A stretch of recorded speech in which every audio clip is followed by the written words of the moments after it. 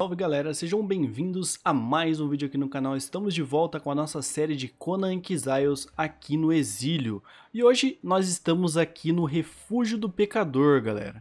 Essa dungeon aqui inicial é bem facinha de se fazer e é bem útil que vocês venham aqui nos primeiros níveis, né? Os novos jogadores aí devem saber um pouquinho mais sobre a armadura que dropa nesta dungeon que vocês estão vendo aqui. Aqui tem uma caverna e no final dessa caverna existe um NPC que dropa uma armadura que ajuda bastante numa build que eu vou mostrar para vocês no final deste vídeo, tá? Bom, para entrar aqui no Refúgio do Pecador você não precisa ter um lacaio tão forte, nem tá nos níveis níveis mais altos, eles vai ter alguns exilados ali dentro, os níveis deles não são tão altos assim, então não tem tanta dificuldade. Uma das vantagens de você vir nesse lugar também é que você pode adquirir alguns NPCs aí, é, T4 de bancadas que nascem ali no fundo, né? Conforme a gente for tentando pegar a armadura que dropa aqui, que seria a armadura de Azura, galera. Essa armadura é que a gente vai tentar dropar neste vídeo aqui. Bom, aí você me pergunta, mas eu consigo fabricar essa armadura na bancada? Não, essa armadura é uma armadura propriamente dropada no mapa, né? Você só consegue se você vir até esse lugar, ó. Ó, como vocês podem ver, tem alguns exilados aqui. Os níveis deles são bem simples, então vocês não vão ter tanta dificuldade na hora de vocês matá-los, ó. Eu também tô nível alto, então não tem tanto problema assim, tá, galera? Eu tô aqui no single player para testar isso aqui para vocês, que eu acho mais rápido e mais fácil, né? Vamos entrar aqui enquanto o nosso lacaio vai matando, ó. Aqui também no Refúgio do Pecador você vai conseguir encontrar algumas pedras de enxofre, o que é muito bom, se caso vocês estiverem no início aí, né? Vocês já vão encontrar de cara esse farm aqui, que é bem interessante na hora de fabricar o aço, ó. Aqui no Refúgio do Pecador, vocês veem que tem bastante lacaio, né? Como se fosse uma mini cidade. Ó, beleza. Vamos eliminar esses lacaios aqui, ó. Aí. Beleza. Ó, deixa meu lacaio na frente aí, ó. Olha lá, ele tá fazendo a festa, galera. Enquanto isso, eu vou aqui por cima, ó. Vamos matar esse arqueiro que tá aqui, ó. Arqueirinho nível 1. É, se vocês não tiver nada de guerreiro, vocês vão conseguir encontrar uns guerreiros até o T3 aqui nesse local. Pode ser que ajude bastante vocês aí, ó. Aí, vamos seguir aqui até o final que o interessante está no final da caverna, né? Lembrando que é aleatório, tá, galera? Pode ser que vocês venham aqui e não encontrem o lacaio que dropa esta armadura que eu vou mostrar pra vocês, tá? E cada um desses que você mata, eles vão dropar uma peça só de armadura por vez, tá? Ó, um dançarino, ó. Vocês vão encontrar vários lacaios aqui, hein, mano. Isso aqui é um bom local pra vocês irem de início. Ó, ali naquele altar onde que tá aquela pedra, onde fica o guerreiro, ó. Ele tá lá, galera, ó. Tá vendo? Quando vocês perceberem que tem esse guerreiro aqui, ó. Ó, é um cozinheiro ele, tá vendo? Se vocês quisessem derrubar ele e levar pra bancada de vocês, também pode. Ó, aqui tem uma patrulhista, galera. tem muitos lacaios T4 aqui, ó. Patrulhista de aço. Mas a gente não veio pra dropar nenhum tipo de lacaio agora, né? A gente só quer realmente dropar a armadura. Vamos matar o lacaio de Azura. E no inventário dele aqui, como vocês podem ver, ó, vai ter algumas peças de armadura, ó. Eu já consegui dropar aqui o peitoral de Azura. E é isso que vocês têm que fazer aí, toda vez que vocês virem aqui nesse local, beleza? Ó, deixa eu ver o que tem nesse loot desses daqui, não tem tanta coisa interessante. Aqui no finalzinho, ó, vocês vão encontrar mais alguns lacaios. Mas vai ser praticamente isso, galera. Toda hora vão ter que vir aqui, nesse altar, e tá matando vários daqueles lacaios ali. Pode ser que algumas horas não spawne esse daí com a roupa, tá? Você só vai vir as peças de armadura nos lacaios que tiver essa roupa de azura que vocês viram aí. Aí é só você vir várias vezes e tentar dropar toda a sua armadura para completar o buff que eu vou mostrar para vocês, beleza? Vamos lá. Bom, pessoal, o outro local que vocês vão ter que vir para dropar uma máscara para completar essa build é aqui no local da invocação. Ó. Se vocês olhar aqui no mapa, nesta localização vai ter esta vila aqui, aonde ficam os Darfari, né? Eu coloquei aqui o capuz para me passar sobre eles, e eu vou até aquele altar lá na frente, ó, que é onde possivelmente pode spawnar o lacaio que dropa essa máscara, né?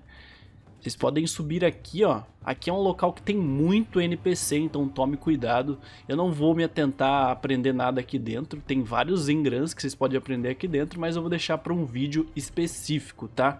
Nesse local aqui, ó, no meio desse altar é para spawnar o lacaio que eu falei para vocês. Geralmente aqui vai ter sacerdotes que vocês vão encontrar e possivelmente pode spawnar o lacaio que dropa esta máscara que a gente precisa, né? Então vocês vão ter que vir várias vezes e fazer isso aqui, ó. Matar um por um e esperar que spawne aí de novo este local, beleza galera? Eu vou dar um cortezão no vídeo aqui vou esperar um pouquinho mais e vamos ver a hora que spawna para me mostrar para vocês como é o nome desse lacaio. Bom pessoal, estamos aqui pela segunda vez, ó, e até agora nada. Mais um sumo sacerdote que nós vamos matar aí. E vocês podem ver, ó, que no sumo sacerdote não tem nada dentro dele. A gente realmente tem que achar um lacaio específico que vai spawnar nesse lugar. Vamos para a próxima tentativa. Aí, pessoal, aqui está o nosso NPC, ó. Esse NPC com o nome de Mandingueiro Darfari é o NPC que possivelmente pode dropar a máscara que a gente precisa. Eu vim aqui acho que mais ou menos umas 5 ou 6 vezes, matando todos os lacaios desse altar para que spawnasse o Mandingueiro, então é bem complicado de vocês conseguir pegar essa máscara, não é fácil, tá? E se você matar ela, não é que todas as vezes que você matar que você vai encontrar a máscara, tá bom? É meio que aleatório, então vamos ver se a gente tem sorte, ó. Vou matar ela de novo. Vamos matar todos aqui e vamos torcer para vir. Olha lá, veio a máscara do mandingueiro que a gente precisa. Pessoal, eu matei ela duas vezes, então não é todas as vezes que vem, hein? Caso vocês acabam matando ela aí e não for, né? Não venha falar que o Impera mentiu, é que realmente é na sorte que vocês conseguem pegar essa máscara, tá? Lembrando que ela é um alquimista, né? T4, então dá uma dó e tanto aí de você matar, né? Mas vocês vão vir várias vezes aqui para vocês pegar os itens que tem nesse local aqui, beleza? Eu vou deixar para explicar um pouquinho sobre esse local um vídeo específico, então bora lá continuar a falar da nossa build, né? Agora que eu acho que a gente consegue já terminar ela para vocês, bora lá. Bom pessoal, agora que nós conseguimos aí o nosso set de Azura e também a nossa máscara do mandingueiro aqui ó, como vocês podem ver aqui nos nossos atributos ó, eu ganho 15 pontos de sobrevivência com o set de Azura completo. Vamos dar uma olhada agora se eu trocar a máscara do mandingueiro pelo elmo de Azura. Vamos olhar aqui nos atributos. Ó, foi para 22, galera. 22 pontos de sobrevivência. Vai faltar ainda mais ou menos 8 pontos aqui em sobrevivência para a gente conseguir dobrar, né, a nossa a nossos recursos, nossa coleta de recursos aqui, ó. Bom, aí tem uma terceira coisa que também dá sobrevivência, que é as nossas ferramentas de sangue negro. Eu já mostrei para vocês a como adquirir essa ferramenta aí, então se você não souber caiu de paraquedas nesse vídeo, é só você conferir na nossa playlist aí que você vai ver como pegar essas ferramentas. Com essas ferramentas, vamos dar uma olhada aqui nos atributos foi para 27 pontos de sobrevivência. Isso aqui sem vocês precisar gastar nenhum ponto de sobrevivência, tá galera? Eu não tô com pontos distribuídos aqui, ó. Tá vendo? A gente vai faltar 3 pontos aqui né? No caso, para a gente conseguir o trabalhador eficiente, né? Dobrar a quantidade de recursos e isso a gente vai adquirir com uma poção que eu vou mostrar para vocês a como fazer agora. Então, agora nós vamos fazer alguns testes aí para vocês verem o porquê de vocês utilizarem essas duas armaduras em conjunto aí, para vocês tentarem ter a dobra de recursos, ó. Vocês podem ver aqui, é, eu resetei os meus atributos, então não tenho nada de atributo aqui, nada de sobrevivência, não tenho nenhum ponto, tá? Com a minha picareta aqui de ferro, num X, né? O servidor meu tá em 1x, ó. Cada vez que eu bato, vai vir 8, 9, 9, 9, 9. Estão entendendo? Vocês viram que a gente pega de 9 em 9 geralmente. Se eu colocar aqui a minha armadura de azura, vamos colocar ela a gente vai conseguir aí 15 pontos de sobrevivência. Ainda não é o suficiente para a gente conseguir a terceira peculiaridade. Então a gente vai adicionar aqui a máscara do Yogita e a gente vai para 22 pontos, ó. Olha que maravilha. Vai faltar realmente só 8 pontos aqui para vocês conseguirem dobrar a eficiência de coleta de recursos de vocês, tá? Esses 8 pontos vocês podem pegar de várias formas, eu vou explicar um pouquinho para vocês, mas se vocês estiverem nos primeiros níveis, eu recomendo que vocês coloquem é, esses 8 pontos aí aqui, é, direto aqui dos seus pontos de atributo também, tá? Já coloca aqui o terceiro porque vai dobrar a quantidade de coleta sua aí do seu personagem. Tem algumas outras formas, né, mais para frente, depois que vocês já tiverem no nível mais alto, nível 60 por aí, vocês podem pegar essa ferramenta aqui, ó, que é a picareta de sangue escuro e ela vai te dar mais alguns pontos aí de sobrevivência também. Eu tenho vídeo mostrando como pegar essas ferramentas aqui no meu canal. Ó. A gente ganhou 5 pontos com a ferramenta, então nós fomos para 27 pontos de sobrevivência aqui, sem gastar nenhum ponto. Ó. Eu continuo com os 390 que a gente ganha no nível 60, tá? E para conseguir os três últimos pontos que a gente precisa, a gente pode utilizar uma poção que vai facilitar demais aí, é bem simples e aqui na sua bancada de alquimia, a partir do nível 30 fica disponível para você aqui, ó, estes elixir aqui, ó, tá vendo? Tem elixir de todos os atributos aí que vai ajudar vocês. O que a gente precisa fazer é o elixir da ingestão, ele que vai dar 3 pontos de sobrevivência para completar o restante aí que a gente precisa de pontos para o terceiro nível aí de peculiaridade. Para fazer ela é bem simples, é pó de lótus carmesim, pó de lótus púrpura, base alquímica e frasco de vidro com água. Beleza, meus queridos? Se vocês conseguirem esses três atributos, ó, eu vou colocar aqui no terceiro, ó, três pontos de sobrevivência. Vocês lembram que a gente estava pegando de 9 em 9? Três pontos aqui, ó, vou mostrar para vocês aqui, ó. Temos três pontos de sobrevivência, a nossa peculiaridade aqui, ó, trabalhador eficiente já está ativa a gente estava pegando mais ou menos aí 9 pedras por batida com a picareta de ferro, né? No 1x, tá? Isso é com a picareta de ferro. Com as outras picaretas vai aumentar um pouco mais. Ó, 16, 16, vamos ver aqui. 16, ó, 18, tá vendo, ó?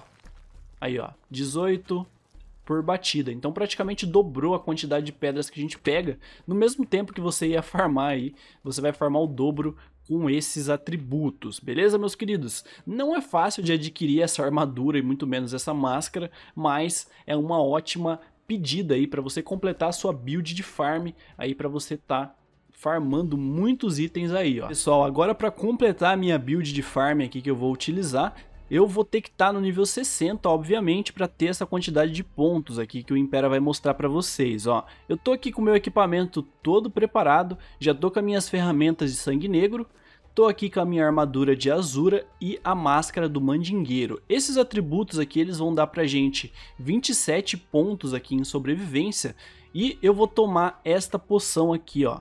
O Elixir da ingestão. Ele que vai completar nosso terceiro ponto ali de peculiaridade aqui nos atributos de sobrevivência. Ó. Como vocês podem ver, eu consegui os 30 pontos que eu tenho para ter a dobra aí de quantidade de recursos coletados, tá? Depois disso, com os 390 pontos restantes, eu vou tomar aqui o Elixir da Dormência, que é a poção de peso.